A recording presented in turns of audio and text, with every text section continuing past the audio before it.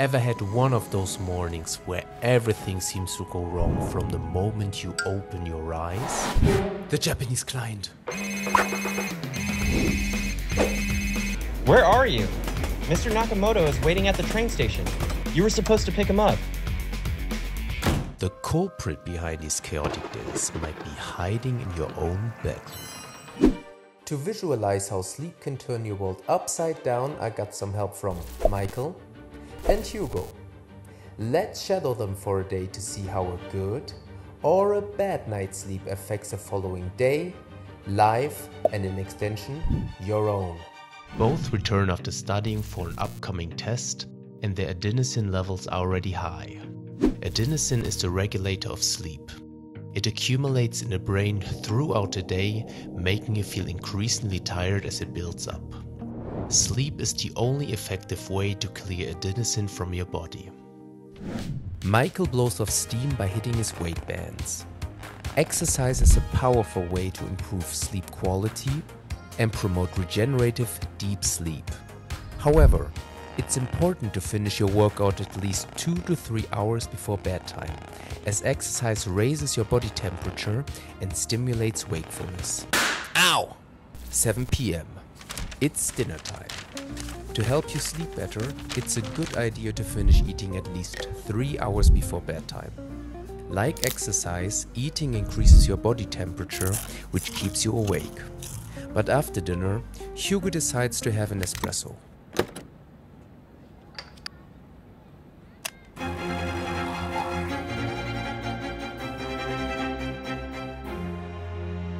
What's the big deal? I sleep just fine. But do you really? Caffeine stays in your system for a long time. Imagine if you had an espresso at 9 pm. Well, your body won't have processed even half of the 200 milligrams of caffeine in that cup until 2 to 3 am. That's way past even my bedtime. The way caffeine works is quite marvelous. It blocks the receptors that adenosine would normally latch onto to make us feel tired. For a good night's sleep, have your last caffeine containing beverage around 10 hours before going to sleep. Let's check in on our duo. Michael has kicked off his winding down routine. He stashes his cell phone.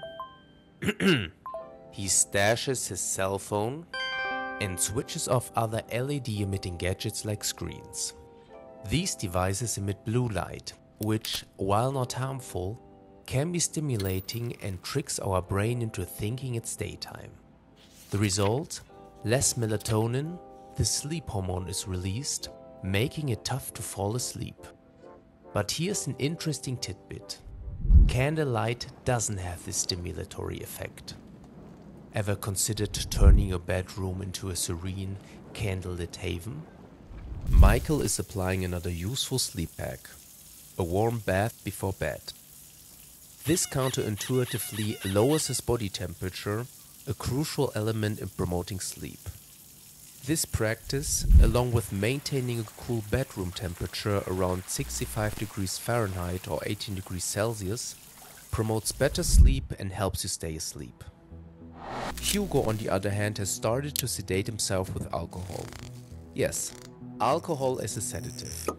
It promotes a sleep-like state that, unfortunately, resembles general anesthesia and fragments your sleep, causing brief awakenings throughout the night and ultimately leading to a less restful sleep.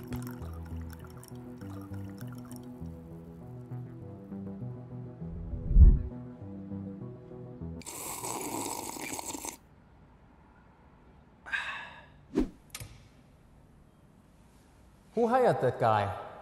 He's the producer's son. Explains everything. Let's stop for a second and delve into sleep stages. We sleep in 90 minute cycles, alternating between two types of sleep non REM and REM sleep.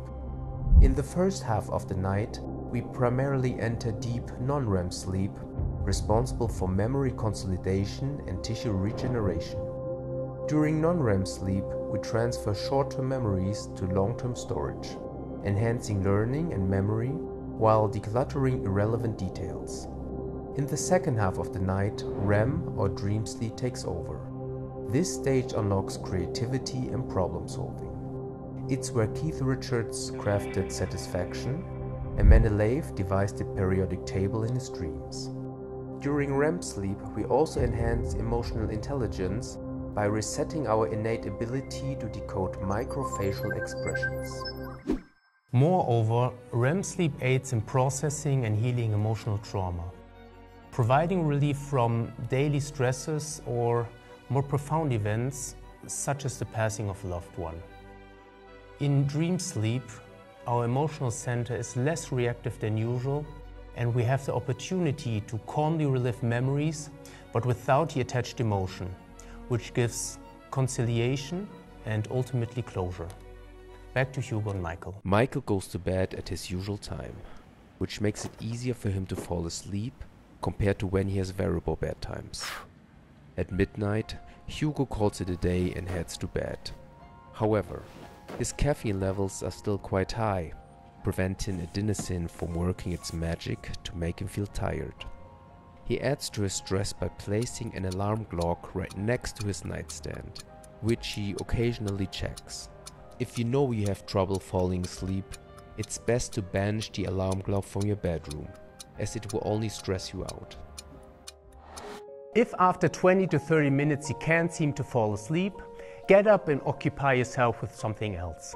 You need to train your body to associate the bed with sleep rather than tossing and turning restlessly in bed.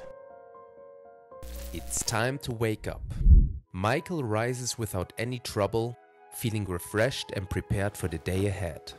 He steps outside for 10 to 15 minutes to expose his eyes to sunlight, signaling to his internal clock that a new day has started. This practice helps clear away any morning grogginess. As a result, his adenosine levels are low as you expect after a restful night. Hugo had a terrible night. The caffeine kept him from falling asleep, and the alcohol later impeded him from having restorative sleep. His adenosine levels have only decreased by around a third, contributing to his morning grogginess. Upon waking up, he repeatedly hits the snooze button. Every time the alarm rings, his body experiences stress. His heartbeat accelerates and his blood pressure increases.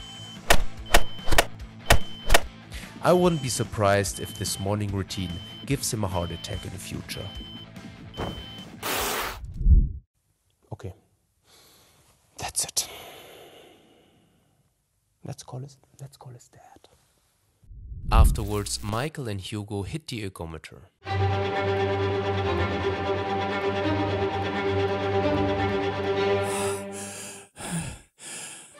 As you can see from their speed, sleep deprived Hugo is exhausted more quickly and his performance lags.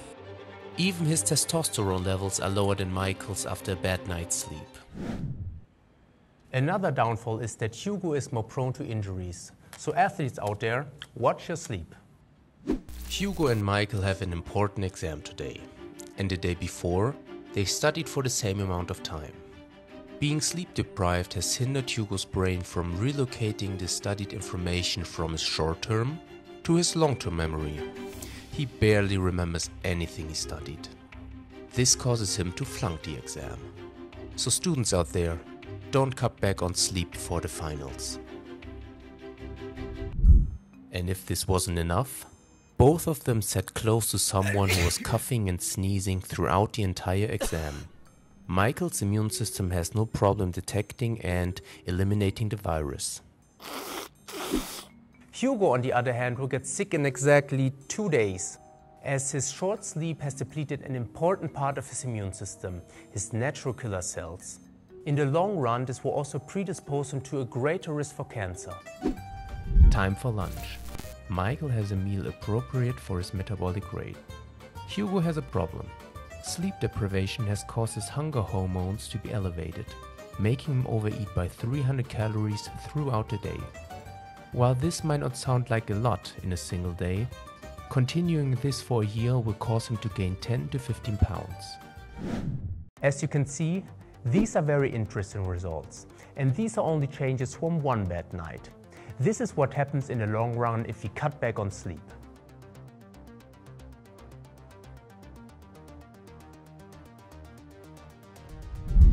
And if you spend too much time playing video games, I got the perfect video for you. Hello? Yeah, hello, sir. Yeah, yeah. Oh, yeah. Your, your son? Oh, yeah, he's in the video. He's doing great. Ah, such a great guy.